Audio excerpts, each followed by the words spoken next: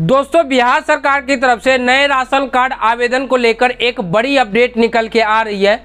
Update ये है दोस्तों कि अब आप मात्र 30 दिन में ही अपना नया राशन कार्ड बनवा पाएँगे। तो दोस्तों, अगर आपका राशन कार्ड नहीं बना हुआ है और राशन कार्ड बनवाना चाहते हैं तो मात्र आप जो सो तीस दिन में ही अपना नया राशन कार्ड बनवा पाएँगे। सो so, दोस्तों इसी अपडेट के बारे में आपको पूरी जानकारी देने वाला हूँ कि आखिर आपको आवेदन कैसे करना होगा ताकि आपका तीस दिन में ही नया राशन कार्ड बन जाए। क्या ऑनलाइन करना होगा या फिर ऑफलाइन करना होगा?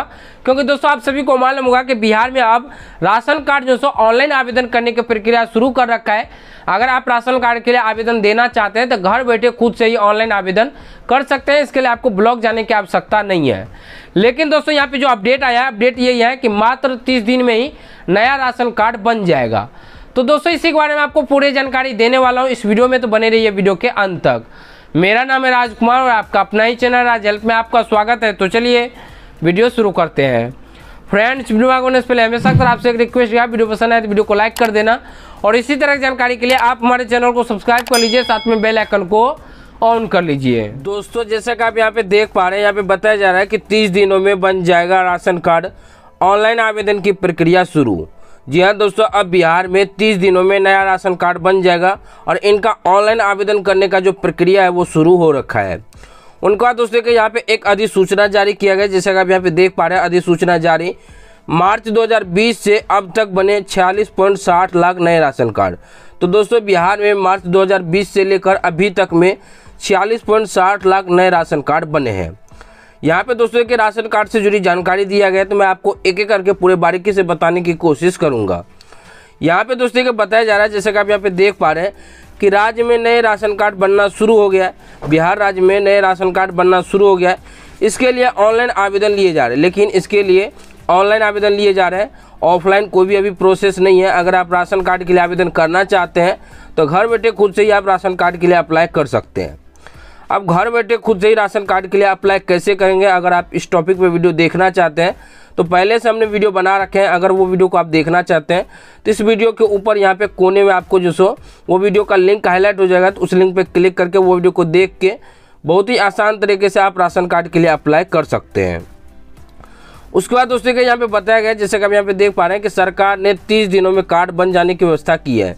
तो दोस्तों के यहाँ पे बताया जा रहा है कि सरकार ने तीस दिनों में नया राशन कार्ड बन जाने की जो व्यवस्था है, वो जो सो की है। यानी कि अगर आप राशन कार्ड के लिए अप्लाई करते हैं तो आपका राशन कार्ड मात्र तीस दिनों में ही बन जाएगा।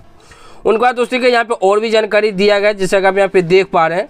यहाँ पे दोस्तों के बताया जा रहा है, जैसा कि आप यहाँ पे देख पा रहे हैं कि खाद्य उपभोक्ता विभाग ने अधिसूचना जारी की है। तो खाद्य उपभोक्ता द्वारा जो सो एक अधिसूचना जारी की है राज्य में मार्च 2020 से फरवरी 2020 तक 40.60 लाख नए राशन कार्ड बने हैं। तो दोस्तों के यहाँ पे बताया गया कि बिहार राज्य में मार्च 2020 से लेकर फरवरी 2022 तक में 40.60 लाख नए राशन कार्ड बने हैं। सर्वाधिक राशन कार्ड अप्रैल 2020 से सितंबर 2020 तक बनाए गए थे। तो आप सभी को मालूम होगा कि आ, मार्च 2020 में लॉकडाउन लगे थे और उसी बीच जो सो अप्रैल सब में जीविका दीदी के द्वारा नया राशन कार्ड का आवेदन लिया गया था तो वही यहाँ पे बताया गया है जैसे कि आप यहाँ पे देख पा रहे हैं।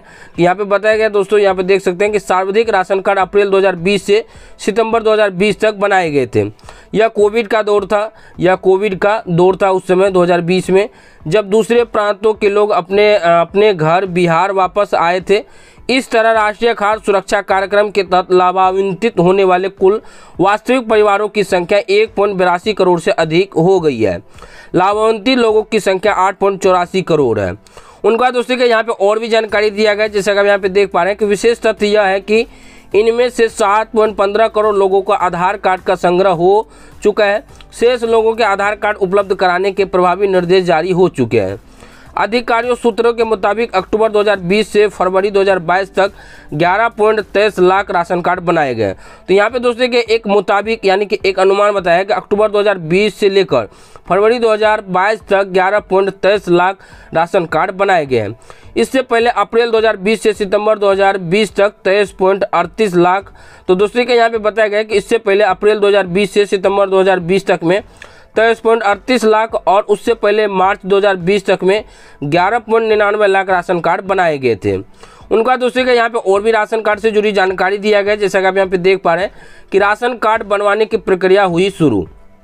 तो दोस्तों, अगर आप राशन कार्ड बनवाना चाहते हैं तो राशन कार्ड बनवाने की जो प्रक्रिया है, वो शुरू हो रखी है। खाद्य एवं उपभोक्ता संरक्षण विभाग ने नए राशन कार्ड बनवाने के लिए ऑफलाइन भी आवेदन लिए जाने के निर्देश दिए हैं। तो दोस्तों के यहाँ पे बताया गया कि खाद्य एवं उपभोक्ता संरक्षण विभाग द्वारा नए राशन कार्ड बनवाने के लिए ऑफलाइन यानी कि आरटीपीएस काउंटर से भी आवेदन देने का जो निर्देश है, वो जो सो दिए गए हैं। यानी कि कुछ दिनों के बाद आप ऑफलाइन भी राशन कार्ड के लिए आवेदन कर पाएँगे।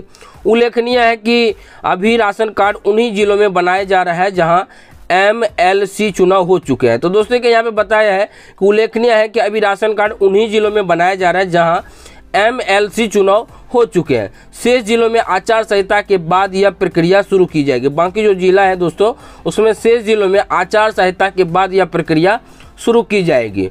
सो so, दोस्तों यही एक जानकारी था बिहार के राशन कार्ड नए आवेदन को लेकर। अगर आप राशन कार्ड के लिए आवेदन करना चाहते हैं तो जितना जल्दी हो सकते हैं उतना जल्दी आवेदन आप कर सकते हैं। क्योंकि दोस्तों यहाँ पे जो अपडेट आया अपडेट यही है कि अगर आप राशन कार्ड के लिए अप्लाई करेंगे तो मात्र आपका तीस दिन में ही राशन कार्ड बन के तैयार हो जाएगा। उम्मीद करता हूँ ये वीडियो आपको पसंद आया होगा। वीडियो पसंद आए तो लाइक कीजिए अपने दोस्तों के साथ, इस वीडियो को शेयर कीजिए।